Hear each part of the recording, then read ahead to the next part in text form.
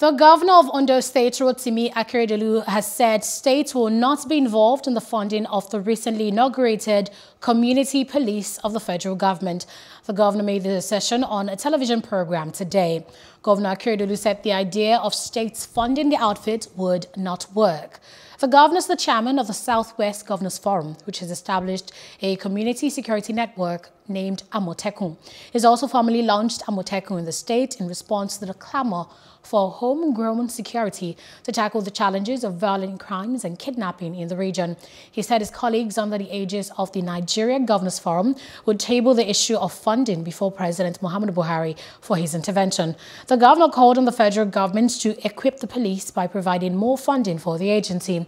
He added that the Amotekun Corps was designed to support the existing security framework in the state. The federal government had approved the sum of 13.3 billion naira for the takeoff of community policing in the country.